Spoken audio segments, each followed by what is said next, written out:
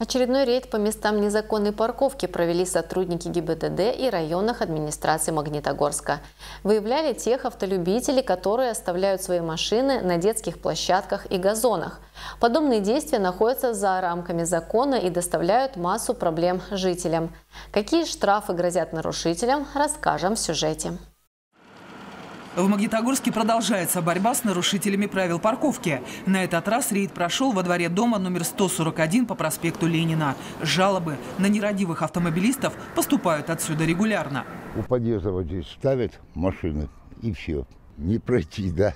У каждого подъезда будем ставить машины, что ли? Так выходит. А везде дворники, им тоже убирать, они убирают.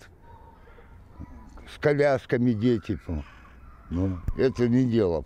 Газоны здесь также полностью заставлены машинами. Среди злостных нарушителей владелец серебристого БМВ, а также хозяин темно-вишневой ВАЗ-2107.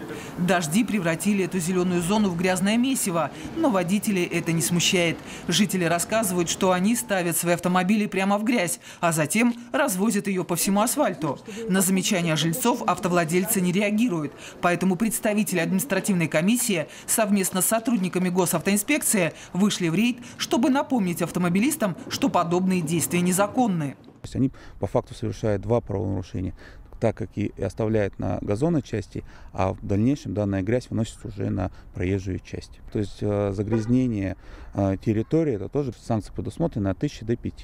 То есть если у нас факт э, загрязнения проезжей части зафиксирован, то есть когда автотранспортное средство не просто стоит, а мы уже видим и фиксируем, когда оно выезжает и выносит грязь на проезжую часть, мы это тоже фиксируем. И также есть случаи привлечения к административной ответственности. За парковку на газонах законом об административных правонарушениях нарушениях Челябинской области также предусматривается штраф от 1 до 5 тысяч рублей. Протокол за нарушение составляют члены административной комиссии. Рейды проводятся совместно с ГИБДД сотрудниками.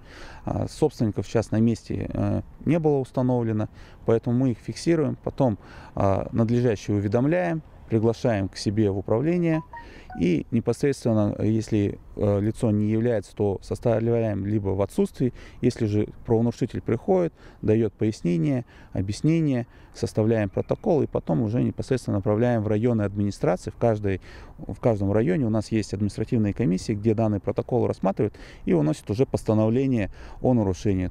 В ходе рейда инспекторы ДПС выявили, что машинами оккупированы не только газоны, но и пешеходные тротуары. Поэтому помимо составления протоколов было принято решение о перемещении нескольких автомобилей на специализированную стоянку.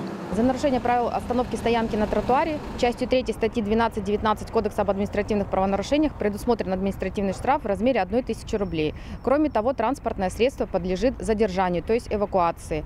А в данный момент сотрудники госавтоинспекции на данном участке выявили факт нарушения правил остановки стоянки на тротуаре. И на место вызван эвакуатор. Сейчас транспортное средство будет задержано. Э, собственнику транспортного средства необходимо будет оплатить административный штраф, а также услуги по перемещению транспортного средства на спецстоянку и ее хранение. С начала года к административной ответственности было привлечено более тысячи автовладельцев, включая тех, кто был пойман за повторное нарушение. Свыше 700 транспортных средств были задержаны и перемещены на спецстоянку. По словам дорожных полицейских и сотрудников комиссии, проблема несанкционированных парковок очень актуальна для Магнитогорска. И в этом году работа по ее решению будет продолжена. Татьяна Артеменко, Денис Иванов, телекомпания ТВИН.